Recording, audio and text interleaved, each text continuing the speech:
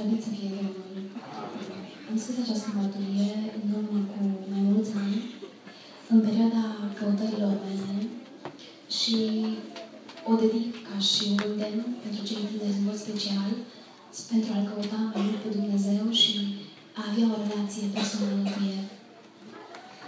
Fericirea nu este în noi, spunea un înțelept, și fericirea nu este în afara noastră. Fericirea este doar în Dumnezeu. Când l-am găsit pe El, ea este prezentă. A fost un timp în viața mea când căutam cu orice preț fericirea. Căuta persoana alături de care viața să poată avea un farmec, un sens, un cel.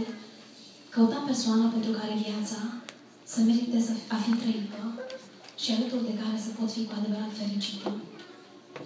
Am fost în locuri în care înainte nu mă duceam, am spus cuvinte pe care înainte nu le spuneam și toate acestea ca să umplu golul din inima mea pentru a fi fericită și împlinită. Dar nu am fost. Atunci am învățat ceva, că iubirea și speranța pe care o poate oferi lumea, oamenii, este trecătoare. Și ca trezită dintr-un vis, am înțeles ce este viața, dureri, lacrimi, dar și bucurii. Ca și orice om, am avut și eu parte de clipe de tristețe și de bucurie și simțeam nevoia să fie cineva alături de mine în momentele cele mai triste, dar și fericite și să-mi spună te iubesc așa cum ești. Ce era viața pentru mine? O luptă în căutarea fericirii. Un chin, fiindcă am înțeles că oamenii sunt oameni, că și ei aveau nevoie de ceea ce aveam nevoie și eu, că ei nu mă pot ajuta. Dar, totuși, unde? Oare unde voi putea găsi mâna care ajută, vindecă, mângâie? Unde erau ochii care, doar dintr-o privire cu mare înțeles, te fac să zâmbești vieții, chiar dacă ea este așa cum este?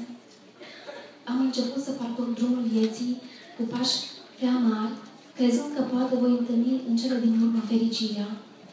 Voi găsi ființa care să mă accepte, să mă iubească așa cum eram, persoana care să-mi poată schimba viața, să dea sens și țeli unei vieți pline de amărăciune. Dar nu, nu în felul oamenilor. Eram sătură de cuvintele lor, deoarece erau regi, pline de deșertăciune și fără de putere. Și atunci am auzit vorbindu-se despre El, omul suferințelor și al durerii, Fiul lui Dumnezeu care ridică păcatul lumii întregi. Mă gândeam că va putea oare o persoană pe care nu am văzut-o niciodată să-mi ofere adevărată fericire? Va putea oare să umple și golul din inima mea? Îmi era frică gândindu-mă că într-o zi va fi o judecată, iar faptele din trecutul meu mă urmăreau, mă condamnau. Oare au dreptate oamenii care îl iubesc pe Iisus? Este El dragostea, fericirea, calea, adevărul și viața? Poate El să iubească oamenii așa cum sunt ei, necondiționat? Dar eu atunci nu doream să risc.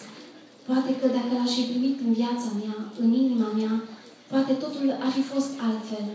Poate aș fi fost cu adevărat fericită și împlinită. Îmi era silă de mine, de oameni, de lume, de viață trăită în păcat. Și totuși, era noapte și mi-am spus că merită să încerc.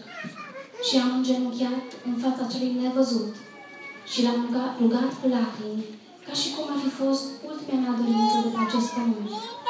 Să vină și în inima mea, așa cum era ea. Să vină dacă exista cu adevărat și să aducă și în viața mea iertarea, dragostea, bucuria, pacea și speranța. Ridicându-mă de pe genunchi, am simțit că am o nouă inimă.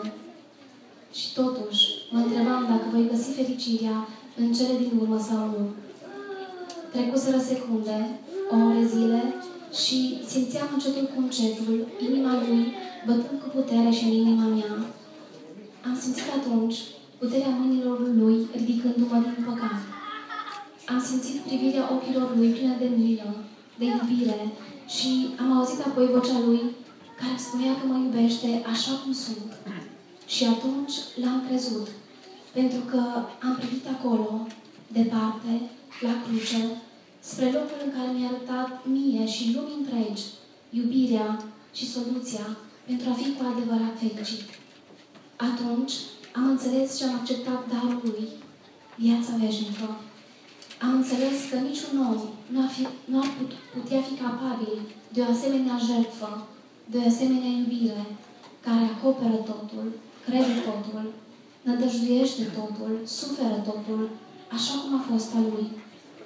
Atunci am înțeles că dragostea este a lui și că ea este o putere care poate învinge orice durere. Dacă te numeri printre oamenii care doresc să cucerească lumea în care Dumnezeu i-a pus, cucerește-o și înțelege-o, dar așa cum este ea, cu lacrimi, dureri și suferințe. Da, să o cucerești, dar nu, nu pentru tine, ci pentru El. Dacă vrei să fii fericit, încearcă să iubești ceea ce nu merită să fie iubit. Încearcă să înțelegi, să crezi ceea ce nu se poate înțelege, ceea ce nu se poate crede. Încearcă să iubești viața și să fii mulțumit de ea și în special să iubești pe oameni așa cum sunt ei, iar în final vei vedea ochii și fața lui, picioarele și mâinile străpunse de cuie. Vei auzi în acea zi vocea lui spunându-ți că te iubește așa cum ești. Atunci vei înțelege că tot ce a fost s-a dus, că ești curat datorită lui, datorită lui Hristos Iisus. Chiar dacă nu-L vezi, alege să crezi în El, în cuvântul Lui, deoarece El există, El trăiește în inimile noastre spălate în sângele Lui. Roagă-L să-ți ia vărul negru de pe fața ta, de pe ochii tăi, ca privind ceea ce El a creat, natura, cerul, stelele, oamenii, pământul întreg, să fii fericit. Și nu uita că nu sunt în lume cuvinte mai frumoase decât acelea pe care le poți spune oricărui om, și anume că merită să zâmbești vieții, deoarece Creatorul ei te iubește.